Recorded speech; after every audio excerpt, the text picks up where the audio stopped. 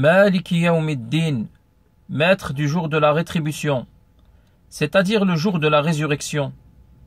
Le maître est celui dont la caractéristique est d'avoir la royauté, qui implique qu'il ordonne et qu'il interdit, et qu'il récompense et qu'il châtie, et qu'il gère ses propriétés avec toutes les sortes de gestion.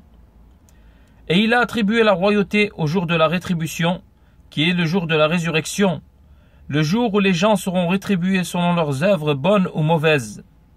Et ce, car en ce jour, il deviendra de manière parfaitement évidente pour tout le monde la perfection de sa royauté, de sa justice et de sa sagesse, et seront alors ininterrompues les royautés des créatures.